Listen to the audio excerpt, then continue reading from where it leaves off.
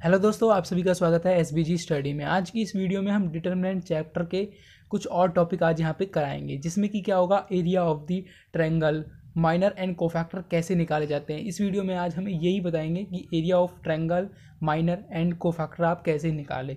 तो चलिए देखते हैं इस वीडियो में। वीडियो को स्टार्ट करते हैं। तो सबसे पहले हम देखेंगे area of a triangle area of triangle कैसे निकालते हैं डिटर्मिनेंट में? लेट हमें यहाँ पे दी हुई है गिवन वर्टिसेस हमें इस ट्रायंगल की वर्टिसेस दी हुई है। X one Y one X two Y two and X three Y three हमको यहाँ पे इसकी वर्टिसेस दी हुई है। तो देन इसका जो एरिया होगा, वो होगा हाफ़ इसका determinant of X one X two X three Y one Y two Y three one one one तो यहाँ पे इन पॉइंट्स को हम रख देंगे और इसका डिटर्मिनेंट निकालने के बाद हाफ़ से मल्टीप्लाई कर देंगे। तो एरिया ऑफ़ ट्रायंगल क्या होगा? Half determinant of X one X two X three Y one Y two Y three and one one one इसका डिटर्मिनेंट निकाल के इसको हाफ़ से मल्टीप्लाई करेंगे तो ये होगा एरिया ऑफ़ अ ट्रायंगल उसके बाद आता है इसमें माइनर हम माइनर कैसे फाइंड आउट करते हैं और माइनर क्या होता है?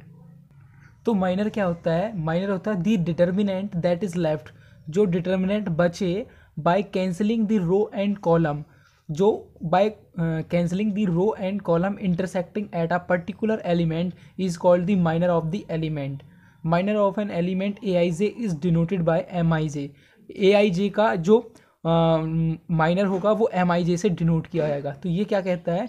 द डिटर्मिनेंट इज़ लेफ़्ट जो डिटर्मिनेंट बचे after cancelling cancelling the row and column of a particular element जैसे कि हमें ए वन वन का माइनर निकालना है। Minor of A one one A one one का हमको माइनर निकालना है तो हम इसकी रो को और इसकी जो कॉलम को है, उनको काट देंगे और उसके बाद जो डिटर्मिनेंट बचेगा, उस डिटर्मिनेंट को सॉल्व करके जो वैल्यू आएगी, वो होगा minor of A minor of one one means A one one का अगर हमको माइनर निकालना है तो इसकी वाली रो को और इसकी कॉलम को हम यहाँ पे काट देंगे।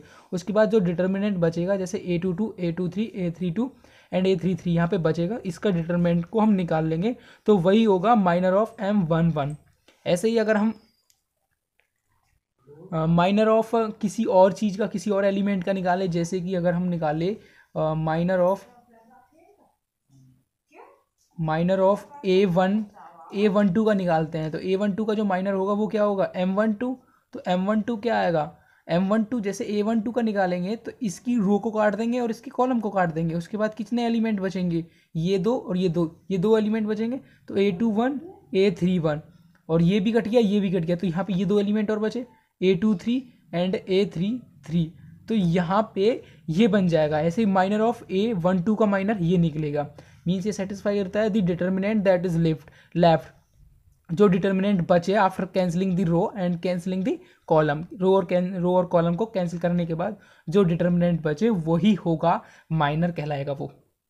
अगर यहाँ पे किसी भी डिटर्मिनेंट का ऑर्डर अगर किसी भी डिटर्मिनेंट का ऑर्डर एन है तो उसके जो माइनर का ऑर्डर होगा, इसके जो माइनर का माइनर के डिटर्मिनेंट का ऑर्डर होगा, वो एन माइनस वन होगा। जैसे इसका थ्री है तो इसमें से एक रो एक कॉलम कट जाएगा तो ये एक घट जाएगा इसका ऑर्डर तो एक घट जाएगा तो एन माइनस वन उसका ऑर्डर आएगा। इसके बाद आता है कि कोफैक्टर क्या होता है? तो चलिए देखते हैं कोफैक्टर क्या होता है। तो यहाँ पे कोफैक्टर होता है, वो होता है the cofactor of an element A I J is denoted by C I J तो कोई भी जो कोफैक्टर किसी भी एलिमेंट का जो कोफैक्टर है, वो डिनोट करेगा सी आई जे से। जैसे ए आई जे का, जैसे ए वन टू का जो कोफैक्टर होगा, वो सी वन टू होगा। तो उसका जो कोफैक्टर इक्वल्स टू क्या होगा? Minus one to the power I plus J into M I J M I J क्या है यहाँ पे? एम आई जे है minor of the element A I J तो जैसे कि अगर हमें निकालना है cofactor of one two one two का निकालना है तो यहाँ पे वन यहाँ पे टू तो थ्री हो जाएगा माइनस वन आएगा, और इसका जो माइनर होगा माइनर हमने निकालना पिछले से पिछले वाले टॉपिक में देखा था कि माइनर कैसे निकालते हैं तो यहाँ से कोफैक्टर भी निकल जाएगा। उसके बाद कुछ इंपॉर्टेंट जो बात है वो आपको ध्यान रखनी है, जैसे कि जो फ़र्स्ट है दी सम ऑफ़ प्रोडक्ट मतलब उनके प्रोडक्ट का sum of the element of any row किसी भी रो और उसकी कॉरस्पॉन्डिंग कोफैक्टर कोई भी हमें जैसे कि डिटर्मिनेंट दिया हुआ है तो उसका हमको जो रो का किसी एक रो को उठाना है, कोई जो एक रो उठाएँगे, उसके जो एलिमेंट एंड उसकी जो कोफैक्टर है, जैसे ए वन वन और सी वन वन का मल्टीप्लीकेशन एंड एडिंग तो सारे जो रोज हैं, उनको इस तरीके से हमको ऐड करना है तो उनका जो वो इक्वल टू होंगे डिटर्मिनेंट के।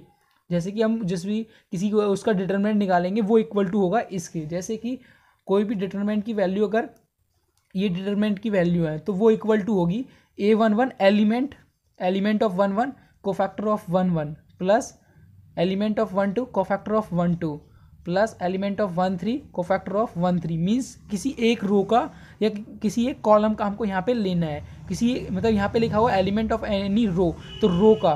कोई एक रो ली जिसमें a one one a one two a one three और उसमें उनके साथ मल्टीप्लाई कर दी ए सी को फैक्टर के साथ। तो उनका जो सम होगा वो इक्वल टू होगा डिटर्मिनेंट के। जो उसका डिटर्मिनेंट की वैल्यू आएगी, उसी के इक्वल इसकी भी वैल्यू आएगी।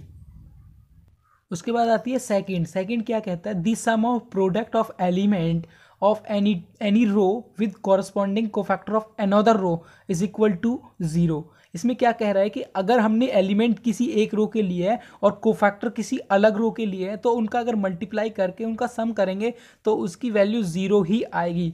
जैसे यहाँ पे हमने a one one a one two a one three लिया है और यहाँ पे कोफैक्टर सेकेंड वाली रो का लिया है और एलिमेंट फ़र्स्ट वाली रो का लिया है तो इसका जो सम होगा, इन दोनों की मल्टीप्लाई कोफैक्टर और एलिमेंट की मल्टीप्लाई करने के बाद इनका जो सम होगा, वो इक्वल टू ज़ीरो होगा। तो इसमें आपको ये बातें आपको ध्यान रखनी थी। तो इसमें हमने आपको बताया कि एरिया ऑफ़ ट्राइंगल कैसे निकालते हैं माइनर कैसे निकालते हैं और कोफैक्टर कैसे निकालते हैं। फिर मिलेंगे किसी एक और नई वीडियो के साथ। Thank you for watching this video